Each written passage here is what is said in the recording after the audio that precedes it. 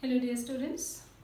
Today uh, I have taken one question from NCERT that is question number 17 of chapter gravitation physics and uh, we'll see this question is a little bit different type of question. Let us first read it and then try to solve it right. So a stone is allowed to fall from a top of a tower 100 meter high.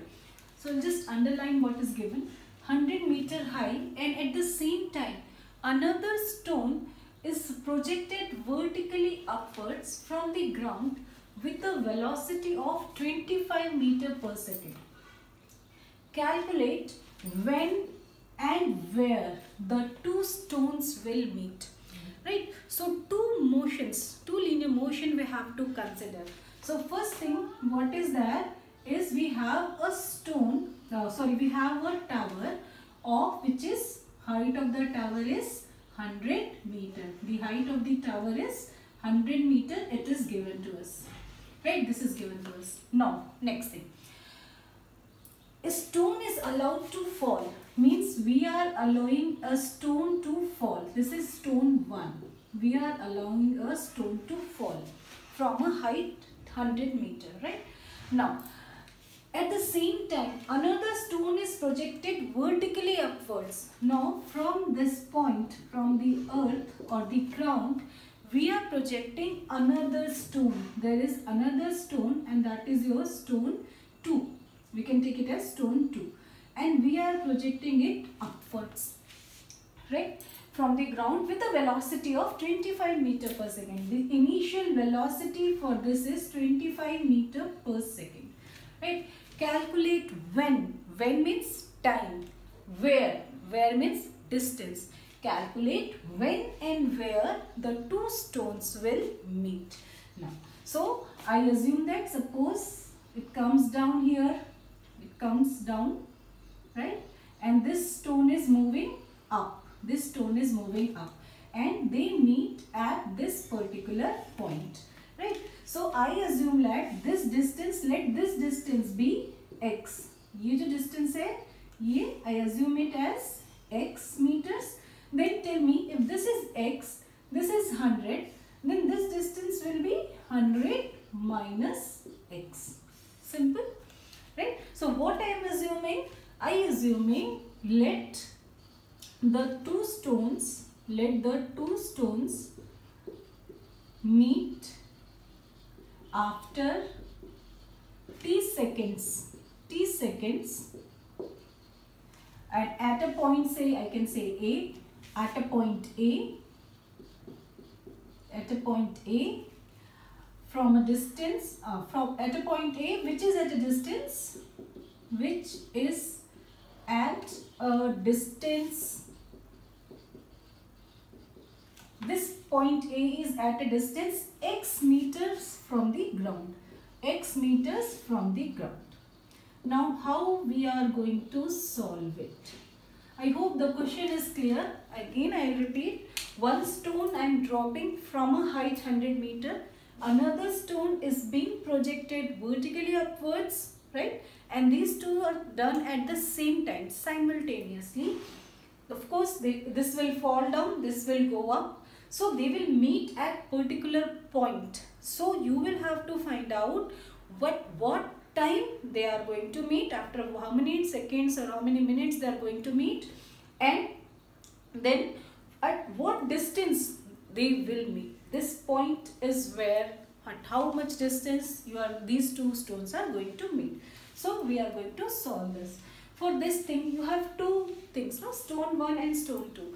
So I'll take separately and write the equations of motion for the two stones separately. So I'll start with stone 1, right? So stone 1. If you have seen the previous video which was sent earlier, I have explained you when we take the initial velocity 0, when we take g positive, when we take g negative. So now just see, we are dropping an object from a certain height, right? So we are dropping it. Then in that case for stone 1, tell me what will be the initial velocity? Yes, it will be 0. Okay, now stone is coming down, right? So what will be the value of acceleration due to gravity? It will be plus 9.8 meter per second square. Correct? And what is the distance traveled before it meets the this uh, other stone? Right? So that distance we have taken as 100 minus x for stone 1. So distance traveled will be 100 minus x. Right?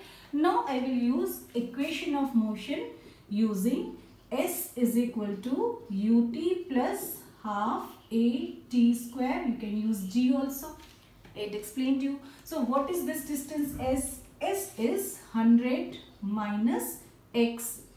u is 0. So this term will become 0.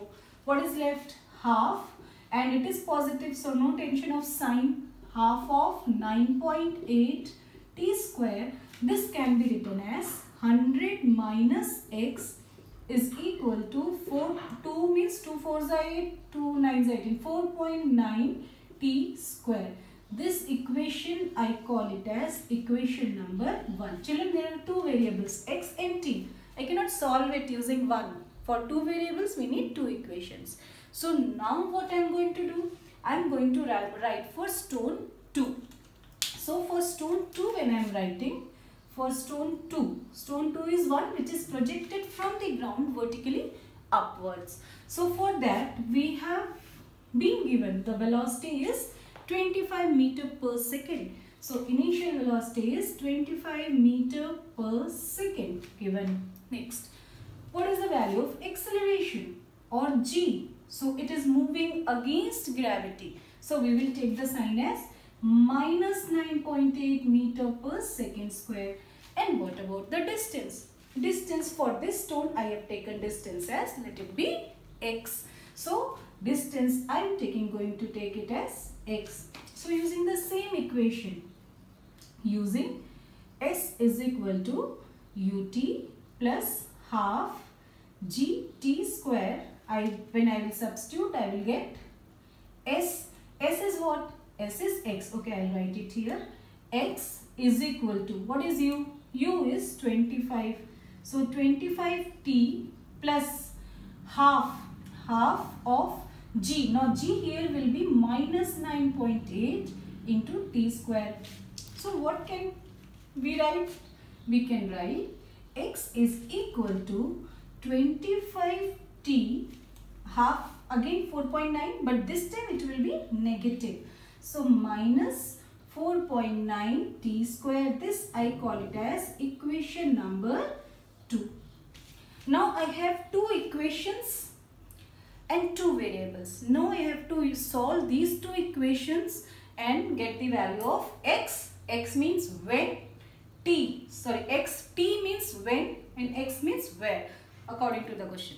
So let me solve it. So what I am going to do to solve this, I am adding so this is the solving part. So solving part is 1 plus 2. Do you know to add two equations? So I will add. Look here.